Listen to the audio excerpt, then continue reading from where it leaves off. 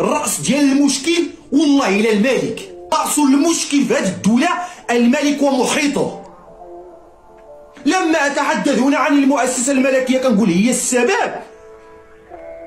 لحقاش جربنا جميع أنواع الحكومات في المغرب. مشى اخنوش مشى بنكيره مشى بنكيره مشى العثماني مشى الف... عدة حكومات. عدة برلمانات. ولكن استمر الوضع على ما هو عليه. الوضع يستمر من الأسوأ إلى الأسوأ.